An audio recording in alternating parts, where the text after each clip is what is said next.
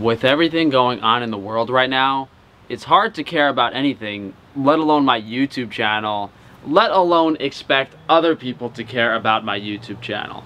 Being locked in our homes like rats, now riots in the streets, all of these planned events. The world is never going to be back to normal, yet everyone else, especially on YouTube, is pretending like nothing's happening. I just can't talk about anything though. I try to talk about current events, fitness stuff, whether it's, you know, the riots or John Meadows, my videos are heavily suppressed. I never get in the algorithm. The harder I work, the less views I'm getting. I really don't know what to do anymore. You know, I've spent over $12,000 this past year on just Google ads, let alone another $10,000 on separate marketing companies, Instagram and Twitter. Probably more than that. I think I've spent anywhere between thirty and forty thousand dollars and this is all of my YouTube revenue in addition to money I've made from my nine to five day job I've had for the past two years I've killed myself every single day all at the hope I would grow larger and larger and influence more people to improve their health. Find one other person with a channel my size that has spent as much money as me. I could literally go on the street and pay people and have more subscribers than I do now for the amount of money I spent. Hey guys, so it's 4.15 in the morning and I'm editing my video. I was actually really exhausted and tired yesterday, so you know I wanted to lay down for a few hours, but I still had to wake up and edit this for you guys. You know, with that being said, with me being so tired, my brain being exhausted, I forgot to mention the actual reason I started spending money on YouTube. And I know some of you guys are thinking, Frank, how'd you spend that much money on advertising? That's crazy. Yeah, I know it's crazy. I spent enough money to buy a Mercedes and I'm still driving a shit box of a car. I know I spent a crazy amount of money on YouTube advertising. But here's the problem. As soon as I started doing, you know, anti-vegan videos, talking about the vegan agenda, how it ties into the new world stuff, they just suppressed my channel so hard that if I didn't spend money on advertising, if I didn't spend the amount of money that Google AdSense paid me, my videos would get a few hundred views per day. It was ridiculous. They literally instantly demonetized any of my videos shut down any of my videos as soon as I stopped spending the advertising money. So it's kind of like YouTube is holding me hostage for a $100 a day to just be on the platform. And even though I'm spending the money now, they're still censoring me.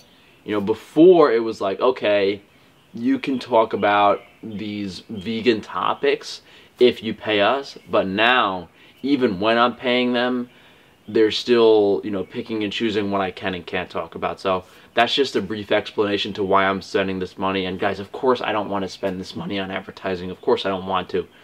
But, you know, all of these other channels aren't getting censored and they are in the algorithm because they're playing by the rules.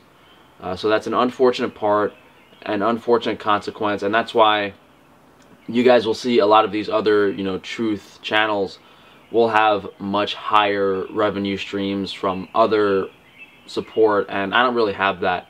You know, I just have a couple of businesses that are kind of barely scraping by and I still work a 9 to 5 day job. Um, you know, I don't have, you know, thousands and thousands of people supporting me on Patreon or other platforms like these other people do. Uh, so I just wanted to throw that explanation in there. Like, guys, no, I'm not stupid. I don't want to spend this money on advertising.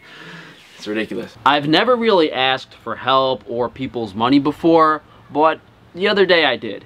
You know, I kind of had a knee-jerk reaction when Frankie's Free-Range Meat was broken into, you know, my business partner's car got smashed up. And I really don't want to accept people's money as donations, you know, without providing something. But the world is literally ending, and I'm hoping I can get enough money to provide you guys with high quality animal foods before the world ends, get something set up before we're in the midst of an apocalypse. Now, all of these fitness channels, diet channels, other health people on YouTube are just acting as if everything is normal, not addressing the truth, playing along with everything. You know, as you guys can tell by the videos I've done over the past few months, I seem to be the only person on here with any integrity, but I've suffered for it. But, but, but how can you not have integrity when you can't even go to the store and buy those health foods when you can't even go to the gym and do those fitness workouts? How can you pretend like everything's okay? You know, all that being said, I've been at a crossroads for a while now whether or not to continue making educational nutrition videos. I really wanted to start diving into fitness stuff, but I can't. And it doesn't look like I'm ever going to be able to dive into fitness stuff because all the gyms are closed. Bodybuilding is like the opposite of what, you know, you want to be doing right now. And you know, despite wanting to not do educational videos anymore, I've done them consistently as long as my channel's been going. You know, you guys can see, you know, a few videos that I've done every month on specific health topics. And these past few weeks, I might not have had as many whiteboard videos, but, you know, a couple videos per week are still focused on diet, nutrition, and health. And guys, I truly have been working harder than ever. As I've said, I'm killing myself every day. I am practically miserable every single day for almost four years doing these YouTube videos consistently, hoping it's all going to pay off. You know, now my views, my live stream attendance, everything is going down. The more time, effort, knowledge, money, the more money I put into my channel, you know, it seems to be going nowhere. And we all know why that is. I figured the consistency and effort would pay off, but YouTube had a say in that. They don't like that I've made my own little sandbox as opposed to playing in theirs. You know, and that's not how the world works. You know, if you're not in the club, YouTube is going to let you know. That 15-year-old vegan girl who gets 300,000 subs in a year from making two nonsense videos a week is just the tip of the iceberg in this nonsense. I feel like I'm hitting my head against a brick wall while everyone else gets to walk around it. Thing is, when I do make these educational videos, other YouTube channels coincidentally seem to make videos on the same subjects with near identical information within days or weeks of my video. You know, there have been a plethora of shills in my comment section saying that you don't own information and that everyone copies other people, attempting to justify the using of my research. I've had enough of it. I've had enough of doing the legwork for these clowns that only care about making a quick buck. These grifters that have jumped on the Frank Tufano bandwagon that want a piece of the pie. I hate to break it to you, but none of you earned it.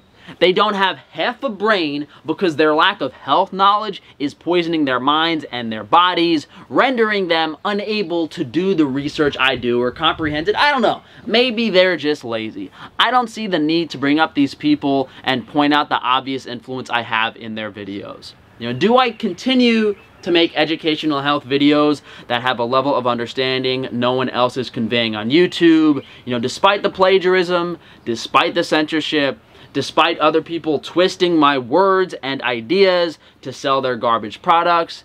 Is it worth helping a few hundred, a few thousand people when hundreds of thousands, if not millions of others, are being misled partially thanks to my understanding of health? The silly part is, they just have to mention my name.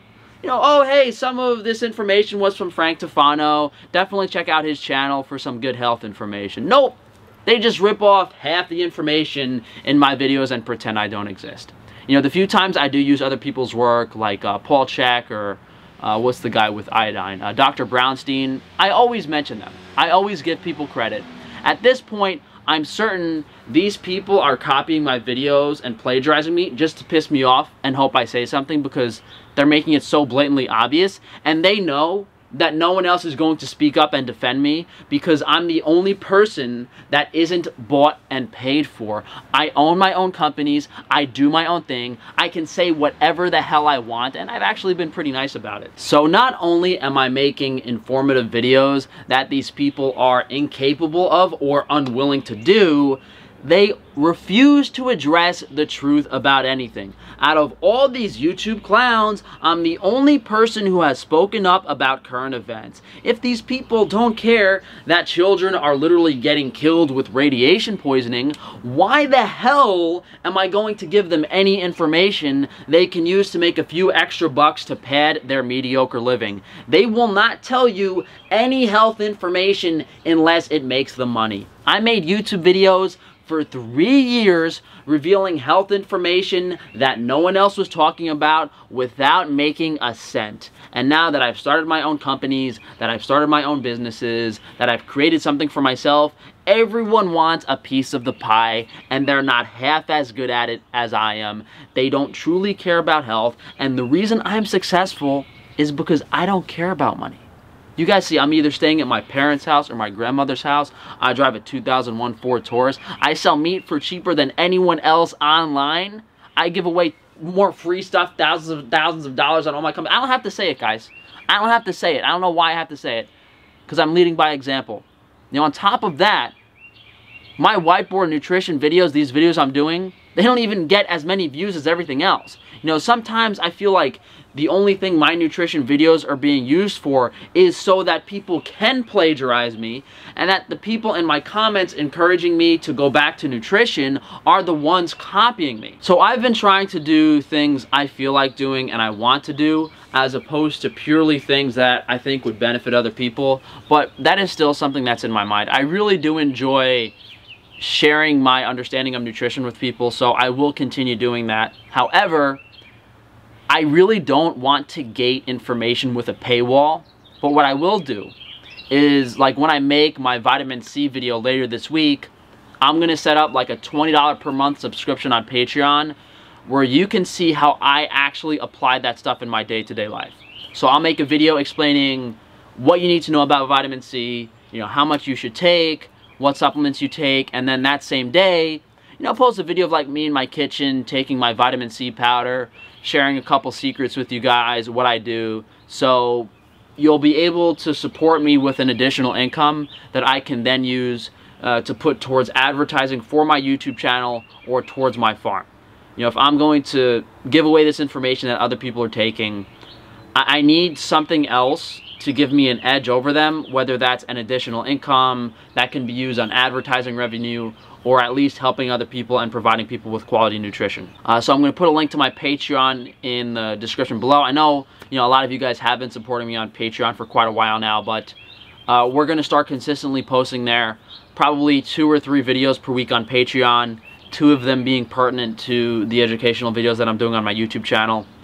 And I don't really want to, but we might have to take a shift away from the current event stuff because every other video I publish is just instantly suppressed, instantly shadowed, and I, I can't do anything about it. Uh, maybe if I start making videos on certain health topics and more mainstream stuff that's not relevant to the events right now, um, that I'll start getting more views again, but we'll see. Uh, it's, it's really tough. If I tell the truth, they just shut me down.